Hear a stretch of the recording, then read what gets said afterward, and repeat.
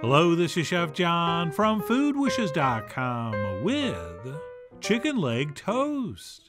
That's right, chicken and waffles. You've been served. And served and served. A little too much, in my opinion, since I'm not a big chicken and waffles guy. But this delicious, hilarious to look at savory French toast is more than just a competing brunch item. It's really my new favorite way to turn one chicken leg into a complete meal. So, with that, let's go ahead and get started by placing two chicken legs into a saucepan, since we're making two portions. And then to that, we will add a little carrot, celery, and onions, or as my French friends would call it, a mirepoix. Oh, yeah, they have a different word for everything. And then we will also toss in a couple cups of chicken broth. And my broth was seasoned, but if yours isn't, you might want to also toss in a big pinch of salt. And that's it. We'll head to the stove and we'll place this on high heat. And we will impatiently wait for it to come to a simmer.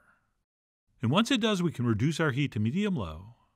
And then we'll cover this and we will let it simmer for 20 minutes, which is going to be the halfway point of what will be a 40 minute cooking time. And what we'll do after 20 minutes is uncover it. And we will carefully turn those chicken legs over. And please do be careful, because if you tear the skin, it will curl up when it bakes, and never in a beautiful way. So we will turn those legs carefully, and then we'll pop the lid back on. And we'll simmer that for another 20 minutes. At which point our chicken legs should be just about cooked through. But definitely not falling apart yet. And what we'll do is remove those to a plate, and we will let those cool, and then pop them in the fridge until we need them. And that's it. Once those drumsticks are chillaxing, we will raise our heat up to medium high because we want to reduce these liquids down to about a half cup, or maybe even a little less. And no, we're not going to measure, we're just going to eye it. And besides getting a head start on cooking the chicken, we've also infused the broth with even more chickeny flavor, which we are now going to concentrate even further. And then we'll eventually use this as the base to build the savory custard that we're going to soak our French toast in. So I went ahead and reduced mine down until it looked like this. And as long as yours reduces close to this, you're going to be fine. And then what we'll do is pull it off the heat and pass it through a strainer. And we can, if we want, just use the liquid that passes through. But to thicken this up a little more and add some extra flavor, I actually like to press some of those veggies through the screen. And I think you should probably do the same. And then once that's set, we can go ahead and season it up, which I'm going to do with some freshly ground black pepper, as well as another pinch of salt and then I also like to add about a teaspoon of freshly picked thyme leaves, which is an amazing chicken herb. And then we'll also do some freshly grated lemon zest, which is a perfect pairing with thyme, especially on chicken. Oh, and there's actually a variety called lemon thyme. And if you grow that, you could just skip a step. Speaking of which, I almost skipped the step where we add the cayenne. And then, of course, to make a custardy batter for French toast, we're going to need some cream, which I'm doing in the form of creme fraiche but regular cream would also work, as would, if times are tough, just some milk. But the creme fraiche is richer and tangier, so I'm going with that. And that's it. We'll finish up with two large eggs, and then we'll take a whisk and give this a good mix. And because I'm doing a savory chicken flavored French toast, I'm not adding any sugar or vanilla or nutmeg or cinnamon. Although I guess if you wanted to, you could. I mean, you are, after all, the Colonel Mustard, of what goes in your chicken gravy colored custard. And yes, you could add a little bit of Dijon if you wanted. But anyway, that's everything I'm putting in. And once that's mixed up, we can go ahead and grab our stale bread, which I sliced the day before, and then let sit out overnight. And we don't want this rock hard, but it should be fairly firm and pretty dry, so it can soak in that delicious custard. And as you can see, we want something nice and thick. And what we'll do is transfer that into some kind of baking dish or pan, ideally where it just barely fits, and we'll go ahead and pour over our custard batter. And then, probably the most important part of this recipe would be to give this bread enough time to soak properly. Or if we only gave this a few minutes and then tried to cook it, we will have not achieved full penetration. And when it comes to chicken leg toast, oh, we are going to need full penetration. So once that batter's been transferred in, and we flip those over a time or two, which may or may not be actually necessary, we will wrap this up and we will pop it in the fridge for at least an hour. And you can, if you want, go as long as overnight. So I went ahead and wrapped that up and popped it in the fridge for about an hour and a half, at which point it looked like this. And as you can see, it's absorbed almost all that batter, except for a little bit at the bottom. But that's fine. We're actually going to use that, slash need that. And that's it. Once our thickly sliced stale bread has been soaked, we will head to the stove, where we're going to brown it over medium heat for a couple minutes per side, in a little bit of butter, or in my case, a little bit of clarified butter. But you could use regular butter, or olive oil, or a combination, or pretty much any fat, including chicken fat. But no matter what you use, we'll let that brown for a couple minutes, and then we'll go ahead and flip it over, which I should have choreographed a little better. There we go. And then once that second side is brown for a couple minutes, we will pull that pan off the heat, and we will transfer down to a foil lined pan that we've greased with a little bit of butter and then we'll pull our what are now chilled chicken legs out of the fridge, and we'll place one right in the center of each piece of bread.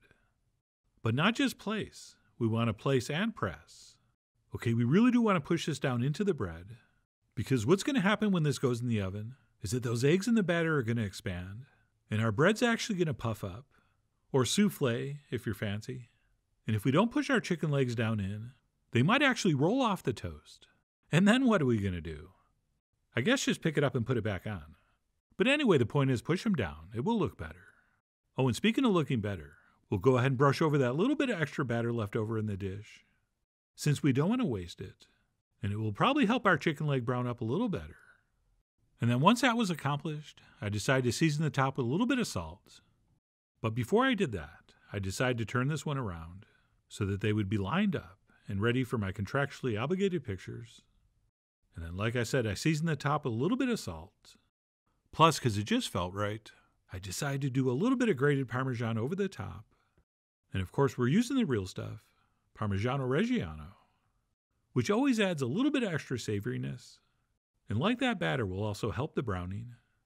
And then last but not least, before these go in the oven, I decided to do one more shake of cayenne over the top. Because I don't have a reason. And that's it. These are now ready to transfer into the center of a 400 degree oven for about 30 to 35 minutes, or until everything's beautifully browned and they look like this. Oh, yeah, those are beautiful, if I do say so myself. I mean, strange and bizarre looking, but beautiful nonetheless. And if people chuckle when you serve this, do not take that as an insult. Okay, they're not laughing at your chicken leg toast, they're laughing with it. And that's it. I grabbed a spatula and served that up next to an arugula prop salad. And then you could certainly serve this as is, but I didn't. I went ahead and spooned over some of my famous dragon syrup, which I'm sorry is too good to give you the recipe for. Okay, fine. It's just maple syrup with some sriracha and cayenne. And when it comes to chicken leg toast, there is no better sauce or condiment. And that's it. I grabbed a fork and knife and went in for a taste starting with just a piece of the French toast component, which was absolutely magnificent. Okay, if you haven't had French toast that's been baked in the oven after being pan fried, so that that custard inside has time to cook, you, my friend, have not had French toast. So that was amazing, but I wanted to try a piece with the chicken, which was definitely more amazing. All right, I know we serve this with that sweet spicy syrup, but everything else here is straight savory, and besides the chicken flavor of the actual drumstick, because we reduced that chicken drumstick infused broth and used that for the French toast batter, and then baked it with that piece of chicken on top, which of course means those natural drippings were soaking into the bread also, this thing is so flavorful and comforting and satisfying that no one's going to be upset that all they had for dinner was a piece of toast and one scrawny chicken leg. But anyway, to summarize, I could not have enjoyed this any more. And I'm sure you will figure out the best way to eat this but eventually, I think we have to lift and separate so we get better access to the meat and the toast. And no, you can't do this with a chicken breast. I mean, you can, but I don't want you to. Oh, and if you were wondering if this was sort of inspired by our million dollar chicken, where we roast a whole chicken on top of some toast, and there's definitely creme fraiche involved, yes, it was. And once I can't easily get any more meat off the bone with a fork and knife, I am definitely going to pick that drumstick up and gnaw the rest of that meat right off the bone. But the good news is I'm going to do that off camera.